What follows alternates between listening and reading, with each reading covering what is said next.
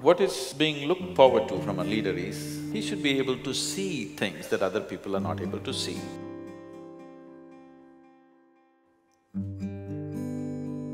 Leadership is not about you asserting yourself over somebody. It is about being able to harness everybody's aspirations and make it happen. What difference can you make in the world is no more in terms of charity. How innovative is your business? That's the business right now. The success, even in a business space, is about growth. How many people are you touching? How vast is your operations? This is the growth of a business, not necessarily how much gold have you kept. For the very first time, for the very first time in the history of humanity, we have the necessary resource, we have the necessary capability, we have the necessary technology to address every human problem on the planet. Even twenty-five years ago, we couldn't have dreamt of it. But the only thing that is missing is consciousness. We are producing enough food for seventeen billion people. We are only seven billion people, but close to half the population is starved. Not because resource is lacking, simply because consciousness is lacking. We are still thinking you versus me, we are not thinking we. Changing the consciousness of the leadership shouldn't take a long time if you find access to them. The only global mechanism on the planet is economic mechanism. Politics, military, religion, all these things are split up. Economy is one thing which bridges across all divides.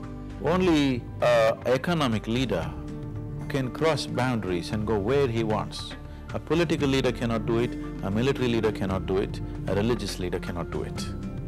The only person who can really build what he wants across the globe is only the economic leader ultimately.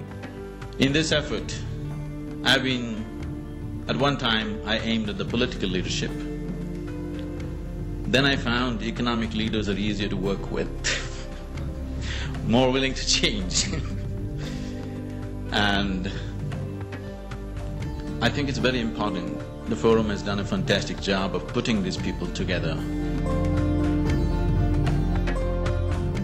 Inclusiveness means making sure every human being on this planet has an active role to play in the economic process. Once you're a leader, the very way you think, the way you feel, the way you act, every single thing that you do affects millions of people.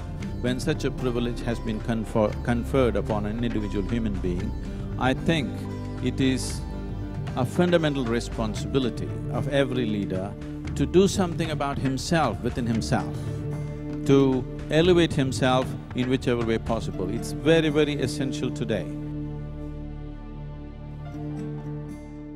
In all these years of life, how many of you have passed through one 24-hour stretch, that is one single day, absolutely joyfully, without a single moment of irritation, agitation, pain, frustration, twenty-four hours. Very few people on this planet can say yes to this, very few. If you have to manage a thousand minds, first of all, you must be able to manage yours, isn't it? You cannot manage your own mind, how are you going to manage one thousand minds? The only and the worst crime that you can commit in this world, in this life is you did not explore the full depth and potential of life. Somebody decides what I should eat, what I should wear, where I should go, where I should not go, you call this slavery. But now somebody decides what should happen within me. Is this not slavery? Anybody can make you go haywire any moment in your life. Yes, people can provoke you to do the… to lose your balance within yourself. So, if this doesn't change, your ability to master your destiny is very minimal. I would say, if you have mastery of your physical body, about fifteen to twenty percent of your destiny is in your hands. If you have mastery over your mind, about forty to fifty percent or sixty percent of your life and destiny is in your hands. If you have complete mastery, mastery over your life energies, then one hundred percent of your destiny is in your hands. The very process of life and death is in your hands. To that extent, one can take his destiny into his hands.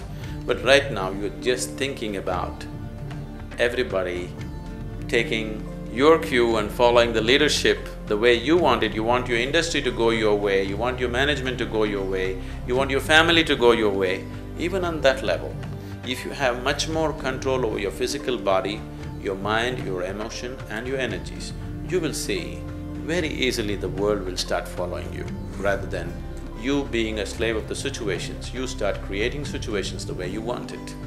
So this is an inner science. As there is an external science for external well-being, there's an inner science for inner well-being.